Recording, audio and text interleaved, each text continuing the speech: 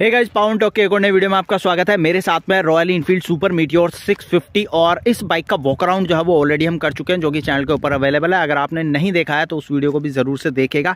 इस वीडियो में हम बात करने वाले हैं, क्या रॉयल इनफील्ड की Super Meteor 650 short height riders के लिए एक अच्छा ऑप्शन है या नहीं? और ये बाइक आपको क्रूजर सेगमेंट के अंदर देखने को मिलती है। अब खास चीज़ें क्या है, वो मैं आपको बता देता हूँ। पहले इस बाइक के अंदर आपको जो इंजन मिल रहा है, वो 650 सीसी का है। Parallel twin cylinder oil cooled engine आपको मिलता है सिक्स स्पीड गियर बॉक्स के साथ में। 47 बीएचपी की power 52 N M peak torque आपको इस इंजन से मिल जाएगा।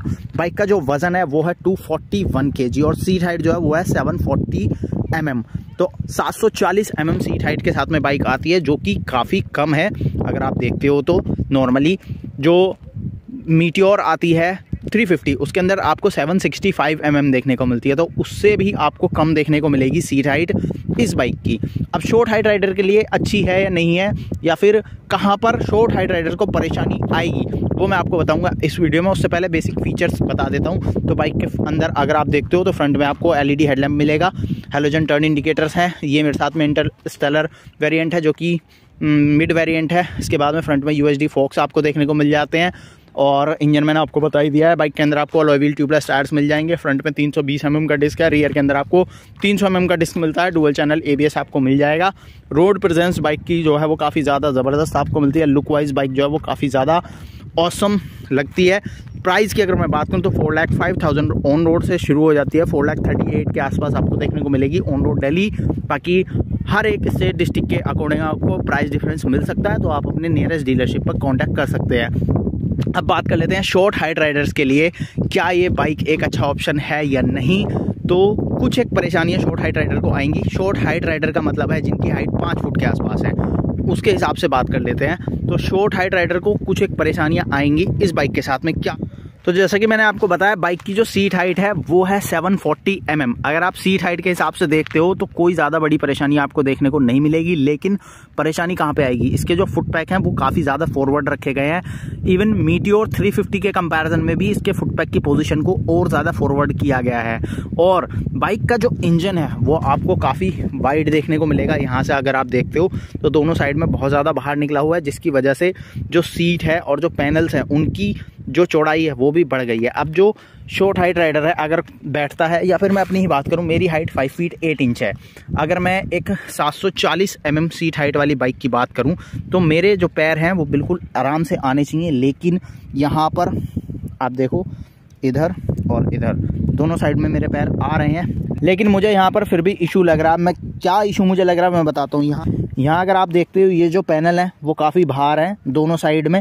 तो जिसकी वजह से मेरे पैर जो हैं, वो बहुत ज़्यादा खुल के रखे जा रहे हैं। और पैर खुलने की वजह से मेरे पैर उतने ज़्यादा अच्छे नहीं टिक रहे हैं नीचे, जितने की टिकने चाहिए थे। अगर आप बात करते हो 740 forty M seat height bike के हिसाब से।